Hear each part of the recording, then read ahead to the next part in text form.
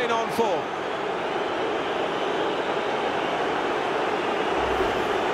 It is a goal, and it was coming. Well, sometimes as a keeper, if you're having a bad day, you're made to pay, and he certainly has been.